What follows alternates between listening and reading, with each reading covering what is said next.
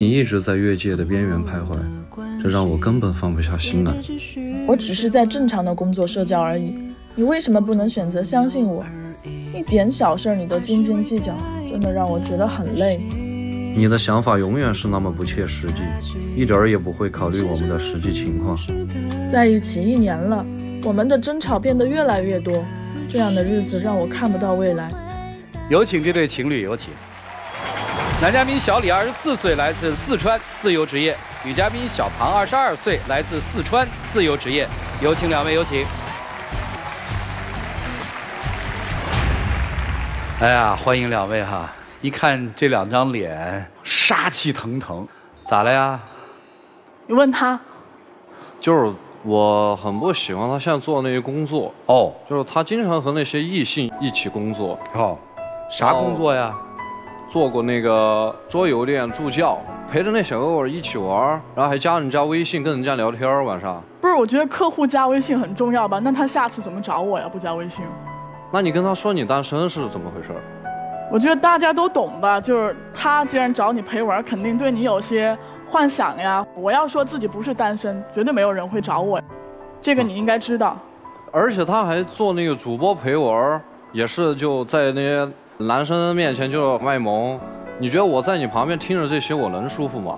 但这是客户需求啊，那我得顺应市场的这个需求啊。我他们想要什么样的，我就得演成什么样。那你知道我不是那样的一个人啊，就是他只是依据网络在线上，还是说他线下也会做一些？对，就是我就是想说他线下，线下他偶尔还会去酒吧做气氛组嘛。然后有一天他给我打电话提分手，结果。我问他，他说是他跟那个男生玩游戏，玩那个大冒险，然后输了就要跟我闹分手。但我不是后面给你解释了吗？也把你微信加回来了，就是一个游戏啊，我觉得。游戏游戏就可以随便提分手吗？我是那种你认了就可以捡回来这种东西是吧？但是反正我是那种愿赌服输的，我觉得这个没什么，就这么闹一下有什么吗？这么久了都没提过分手，你因为因为一个游戏。我觉得你太小肚鸡肠了，我说真的。而且他还有一次，就是他同事也给我打电话让我去接他，说他喝醉了。我刚过去，就那个男的就摸他头。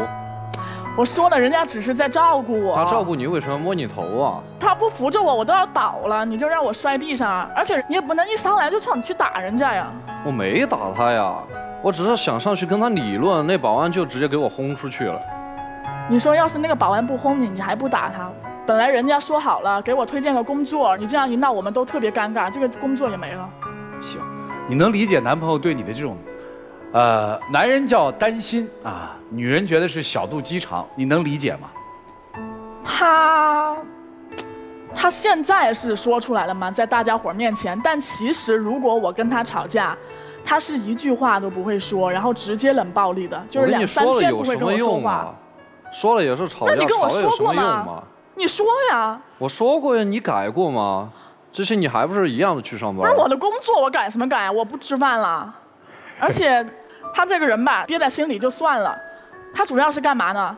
他要把我俩之间那些事儿啊，都全部都告诉他兄弟，然后特别喜欢折损我的形象，说什么呃我不爱收拾屋子，我乱花钱，然后跟异性走太近。嗯，就有一次我俩去逛街，看上了一副耳钉，特别漂亮，然后也挺便宜的。我让他给我买，他说：“哎呀，这个特别好看，特别适合你，就给我买了。”就完全没有心不甘情不愿。但是，一回去他就在他兄弟群里面说：“哎呀，我身上本来就没什么钱，他逼着我买的。”然后现在他那些兄弟都叫我耳钉女。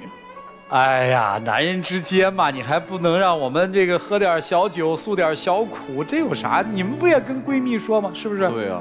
但是他当面没告诉我，就没有表露出任何的不悦，背过来又说我。不，那天你在店里边那么多人，我肯定要给你面子呀。那个服务员一直在那儿应和你，你戴这个好看，戴那个好看，不给你买，那不成什么了吗？不不不不，你搞错了，你这个维护的不是我的面子，是你的面子，你知道吗？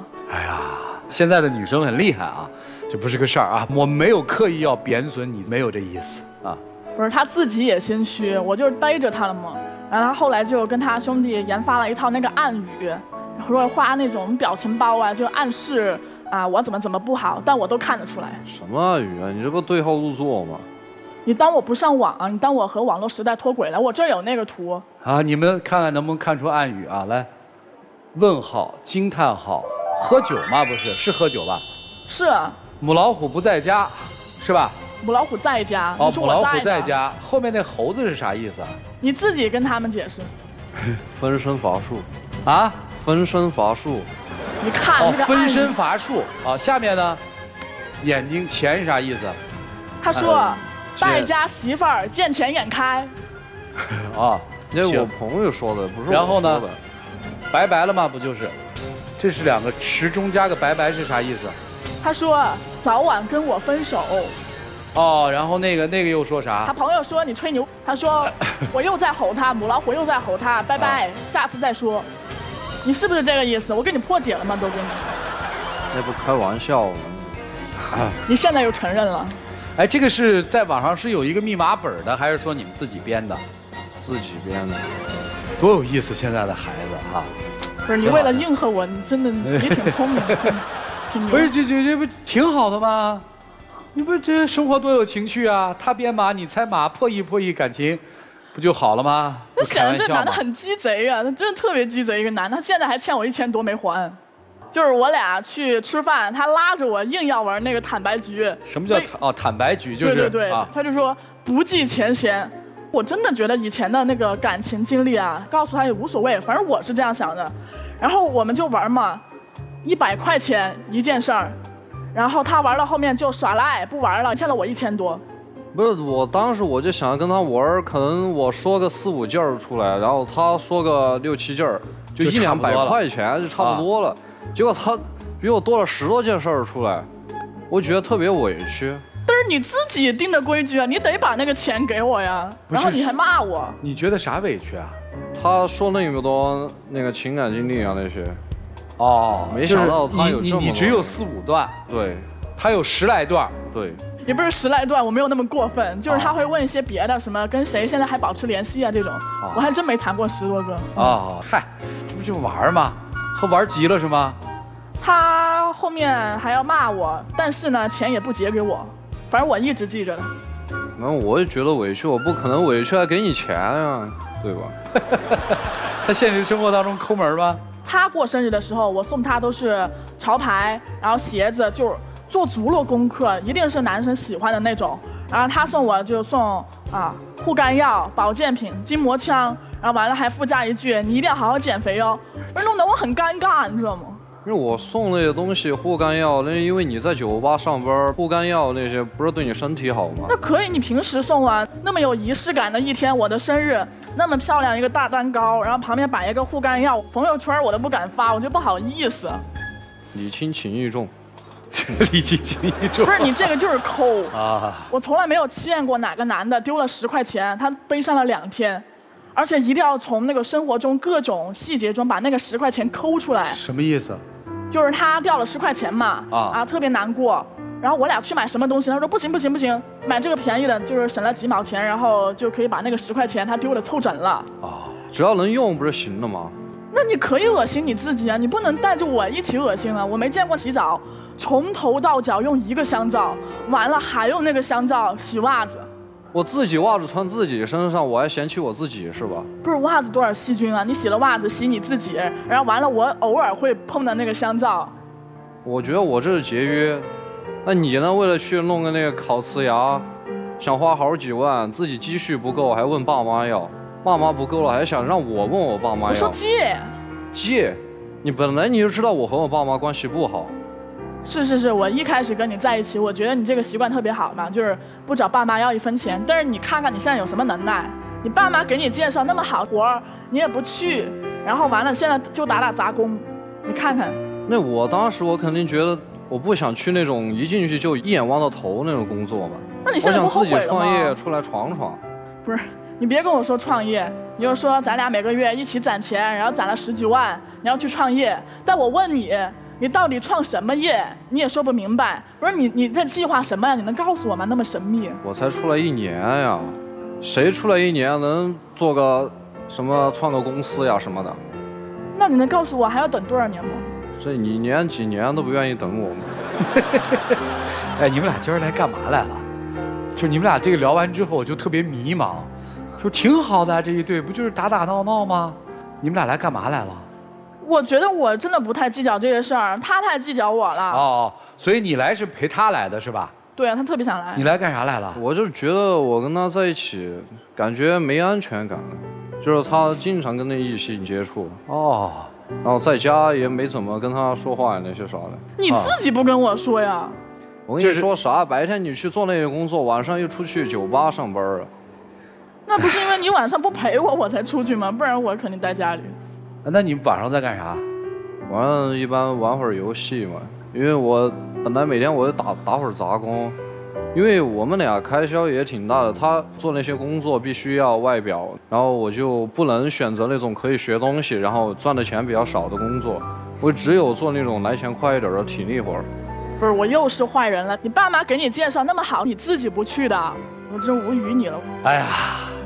所以今天来是希望女朋友这个在工作上面做调整的，还是在什么上做调整的？其实她工作还好，就是不要在家里面，就是她工作上面对那些男生那样，然后在家里面对我就跟老虎一样。就是，我这才听明白啊。他说你别双标，你对客户怎么样，对我怎么样就可以了。兄弟，你要求可真不高啊！啊，那没办法呀，都得挣钱。你们看看怎么办吧？一起进入丘比特问卷。我突然之间觉得我自己老了，就是跟不上时代了。一个是你们聊天截图那个密码，然后再一个就是你们的这些职业，我就觉得不是我生活的世界。我说说我的理解啊，姑娘，我觉得你说的所有的刚才那些工作都没有问题，但这个工作的前提是什么呢？不能因为我做这个工作去影响到我周围的人，让我身边爱的人心情不舒服。既然你选择进入了一段稳定的恋情，就麻烦你要尊重另一半的意见，要在意另一半的感受，包括男生的底线也有问题。你既然不满意他的工作，你觉得你受到了威胁，或者你没有安全感，你应该及时制止。而你在做什么？赚更多的钱来去支撑他这样的生活。那你就是认可他的工作。你既然认可他的工作，你就不要抱怨那么多嘛。你不是也接受人家的工作吗？所以是你的底线决定了你现在的位置，明白了吗？明白了。谢谢。为什么这么宽容？为什么要求这么低呢？我觉得其实是没多少爱嘛，就是那种很浅层次的喜欢，就是大家在一起就是彼此图个舒服，是吧？我觉得其实他们两个人真挺像的。刚才这个姑娘一直说工作就是工作，我没有其他的歪的其他的想法，但你的男朋友说你经常在工作当中跟男性的客户说你是单身的。你不承认你有男朋友，如果你认为这些男客户对你没有其他的想法，为什么要隐瞒自己有男朋友这件事儿呢？其实你还是会觉得他们会对你有一些些的暧昧的，甚至是想要越界的想法。你想通过这样的自己单身的这种状态和谎言，来获取更多的利益。所以你的这种状态，包括你说你每天晚上出去喝酒，跟人家喝的烂醉如泥，你男朋友说他能接受。他说他只要在家里不要对我大呼小叫就可以了。就凭这一句，这个男生一点都不爱你。如果一个男人真的爱一个女人，他接受不了的，他真的不爱你。当然你你也不爱他，你要是爱他的话。你也不会选择每天过这样的生活，选择去干这样的职业，所以我是觉得你们俩在一起就是一对这个玩伴的关系。其实你们俩的生活目标都是一样的，你们都不喜欢那种有安全感的生活和伴侣，那种稳定的工作他不选，他选择现在自由的职业，然后他选择一个，呃这样的职业的姑娘能够给他带来那种不断的刺激的感觉，他就追求这个。如果你们的所有的追求是一致的，我觉得你们就回去好好商量商量，彼此的度在哪里，互相之间照顾一下，也许你们俩还真能白头偕老。其实我不太想说爱，因为肯定是没有。我想说的是另外加一个字儿叫自爱。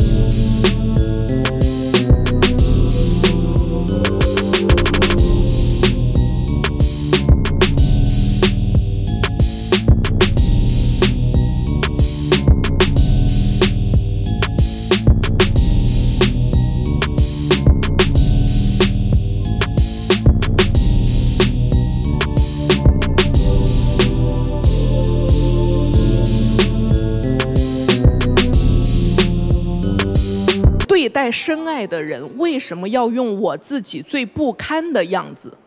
而我什么时候会认为最不堪的自己，居然是最真实的我？这是一个错误的认知，而很多年轻女孩子都不知道。很多女孩子都认为，我只要发脾气，我只要怎么样的，那就叫真实的自我。她们都忘记了，真实的自己其实真的是个可爱的女孩子。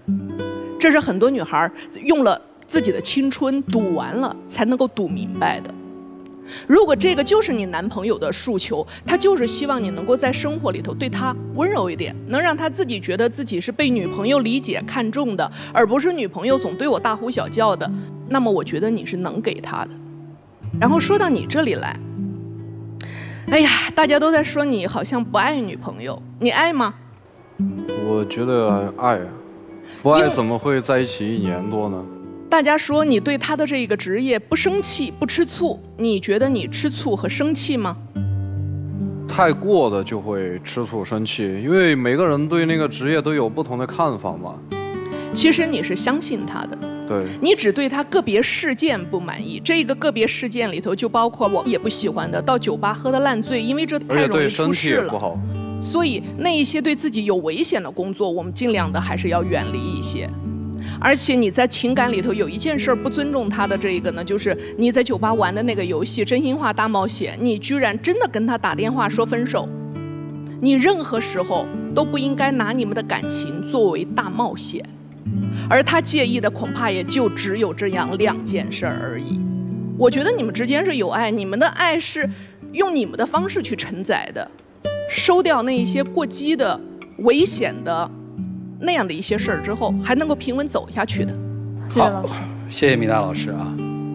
其实我也搞不清楚你们到底是爱还是什么，因为确实九零后就接近两千后的孩子了，他们的很多想法跟我们过去认定的不太一样。但是我觉得不管在哪个年代，大概有一个标准，就是人类共性的东西，因为爱所以想占有。不管你时代怎么变，大概人的这个东西不会变吧。我们讲亲密关系，既然讲关系，其实最核心的词是互动。好坏，每个人有自己的看法，爱和不爱，我们每个人都会有自己的看法和解读，这都不重要了。重要的是你们在这个互动关系当中，你们怎么去动，这才是关键。剩下的时间给你们，一起进入真情六十秒。我觉得你的职业吧，我也不是过分的要求你不做那些。二就是你要求你在家里面也像对他们一样那样对我嘛，我呢以后也会去好好找个稳定的工作。然后你不是学表演的吗？那些喝酒啊那些工作你就先辞掉，先找一些这种表演相关的工作做。那人家叫我跟组，我也不想去啊，去外地三四个月，我也不想离开你。那就找个近一点的吧。要不是你老是不理我，不陪我说话，我用得着跟别人去说话吗？我还去做那种付费服务，我也希望你多陪陪我。就一吵架什么也不说，关上门谁也不理。你要跟我说话，我也可以，对吧？行。你这个笨蛋，他对你不同才对嘛。他用那个方式都对别人对你，那你不就跟那些客户是一样的了吗？只不过那是付费客户，这是免费的客户吗？哎呀，你这个笨蛋！还有一个，记住米娜老师说的话：为什么要让最亲近人看到是你最丑的那一面呢？有什么好呢？对不对？谢谢两位，请回吧，请回吧。来，请关门。我们节目组唯一的官方报名热线是零二二三六零六三零幺，情感困惑的观众朋友可以来电报名。来看看这对年轻的朋友作何选择吧，请开门。精彩节目稍后继续，精彩节目马上开始，请开门。